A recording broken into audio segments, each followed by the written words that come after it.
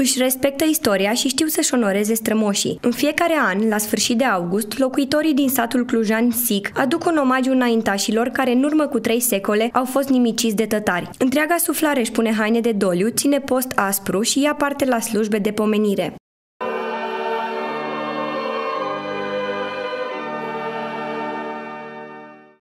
Bătrâni sau tineri, localnicii din satul Clujan Sic și-au petrecut întreaga zi la biserică în rugăciune. Au venit în straie populare de doliu în amintirea cumplitei zile când tătarii aproape au ras satul de pe fața pământului. Să nu mâncăm numai așa, știți, de post, așa, și apoi, nu știu, trei ore avem intrare la biserică și așa ceva.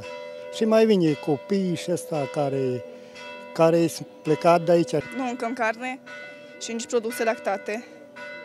Se mănâncă, am înțeles, cu curuz în ziua asta de Da. obicei. strămoșii noștri, așa s-o, s-o ținut și așa ne păstrăm și noi. Printre ei și un olandez care s-a îndrăgostit de tradițiile din Transilvania și respectă cu sfințenie această zi de comemorare. I am from uh, Seek. I lived in Holland, but for four and a half years now, uh, permanent I stay in uh, in Seek. I like it very much here Why you move here?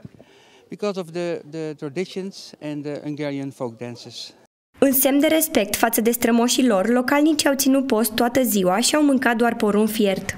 330 de cucuruz am curățat de la șapte jumate cu soțul și v-am pregătit să... No, cred că și piată ăștia.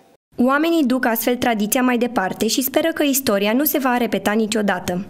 E o zi comemorativă când se țin uh, trei slujbe uh, și post de toată ziua. A fost uh, un jurământ făcut atunci care trebuie să, să țină de la tată în fiu.